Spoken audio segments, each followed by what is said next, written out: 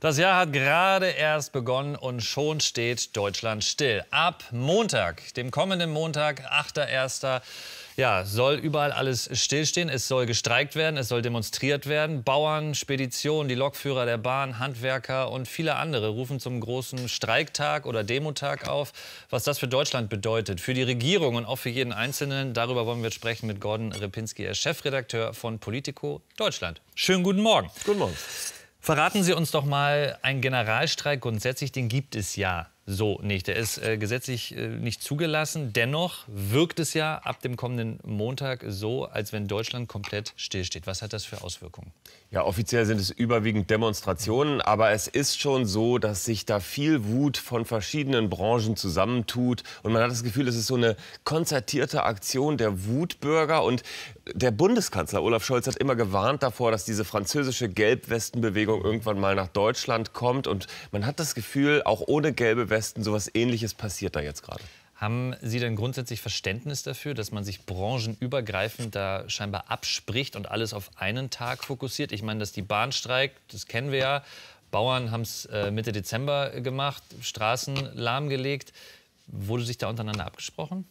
Klar. Und ja. natürlich wird auch äh, darauf geguckt, was die anderen Branchen machen. Als Bürger habe ich kein Verständnis dafür, weil es uns einfach äh, in einer Phase lahmlegt, in der wir, glaube ich, alle ganz positiv in das neue Jahr erstmal starten wollen. Und dann kriegt man gleich irgendwie äh, einen drauf und kommt nicht durch, weder mit der Bahn noch mit dem Auto. Das, glaube ich, stört uns alle als Bürgerinnen und Bürger.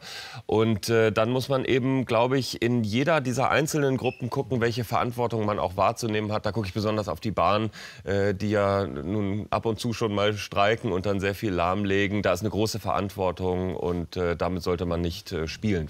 Jetzt denke ich mir immer, dass jede Branche sicherlich ja auch viele Probleme hat und dass man die einzelnen äh, Mitarbeiter und Mitarbeiterinnen ja auch verstehen kann oft. Absolut. Jetzt konzentriert sich das alles auf einen Tag und ich habe das Gefühl, dass die Wut über diesen Tag oder die Tage, es sollen ja drei bis fünf dann glaube ich äh, werden, die problematisch sein könnten ab nächster Woche, ähm, dass sich dann alles mehr auf die Wut konzentriert als vielmehr auf die Forderungen, weil das geht ja völlig unter dann, oder nicht?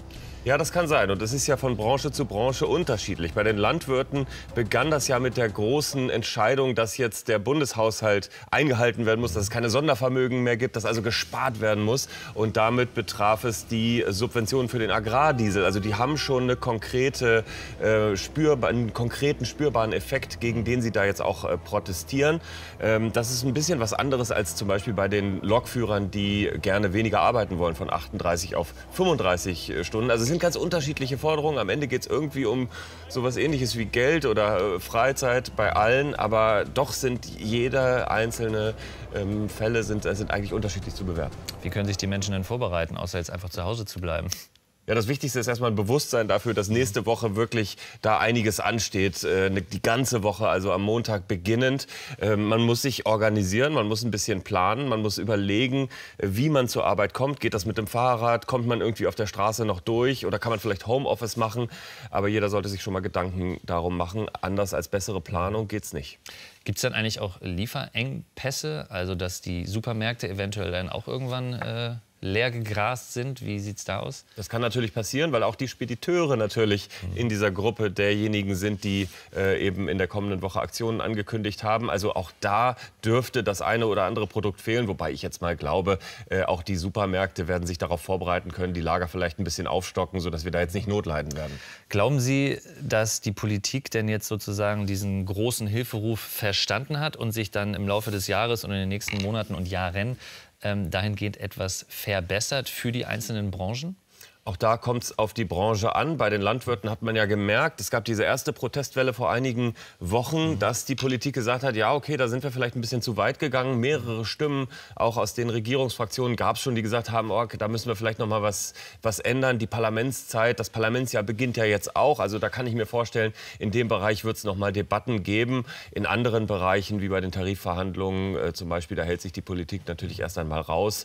Äh, aber es kommt immer darauf an, was es am Ende für die die Gesellschaft bedeutet. Kommt man damit ganz gut aus? Kommt man da rum um den Streik oder ist es wirklich äh, massiv? Äh, und die Landwirte sind natürlich sehr sichtbar. Ne? Ein Mensch, ein großes Gerät, das merkt man dann in Berlin sofort.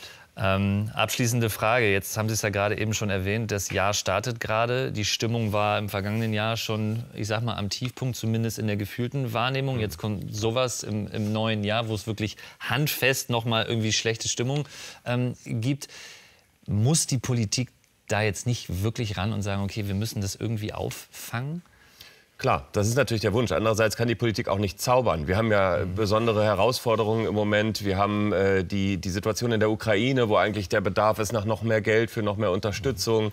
Äh, wir haben die ganze Energiepreisthematik und auf der anderen Seite natürlich immer noch so Folgekosten von der Corona-Pandemie. Äh, und äh, wenn dann eben die Abmachung ist, dass man die Steuern nicht erhöht und dass man die Schulden äh, ebenfalls nicht erhöhen will, dann muss man eben an irgendeiner Stelle sparen. Ich glaube, die Politik ist sich schon dessen bewusst, dass die Stimmung nicht gut ist. Ähm, aber sie, da sind auch Menschen, die können nicht zaubern. Viele Baustellen auf jeden Fall, ähm, die da ja, schon da sind, in den nächsten Wochen und Monaten noch auf uns äh, zukommt. Aber ich denke, ein Vorteil, wenn man irgendwas Positives daraus ziehen möchte aus dem äh, ja, Streik nächste Woche, aus den ganzen Demonstrationen, dann, dass wir es jetzt wissen und dass man sich so ein bisschen darauf vorbereiten kann. Ne? So ist es. Vielen Dank, Gordon Ripinski. Danke. Ich mache kurz eine Trinkpause und habe einen Tipp für euch. Ihr könnt nicht genug von uns kriegen, was ich verstehen kann, oder von unseren Beiträgen. Dann könnt ihr die hier gucken. Oder ihr abonniert einfach unseren Kanal. Oder könnt noch am allerbesten links unten klicken oder rechts, wie auch immer, alle unsere Folgen auf Join. Frühstücksfernsehen immer und überall. Könnt ihr alle Highlights nochmal nachgucken. Prost.